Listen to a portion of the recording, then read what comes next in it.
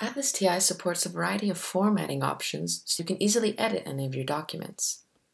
Just open up the document you want to work on and make sure you have the edit mode toggled.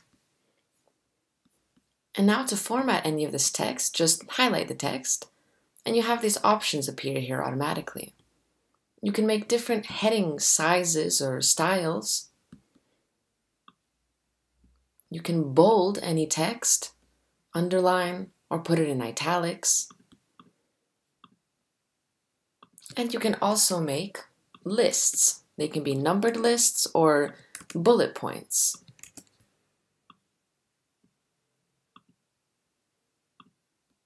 So you can use all these different options to format any of your text documents. When you're done and you want to continue analyzing, just toggle the Analyze mode and you can continue.